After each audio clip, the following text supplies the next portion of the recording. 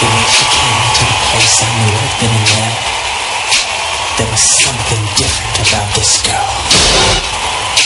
The way she moved, her hair, her face, her lines, divinity in motion.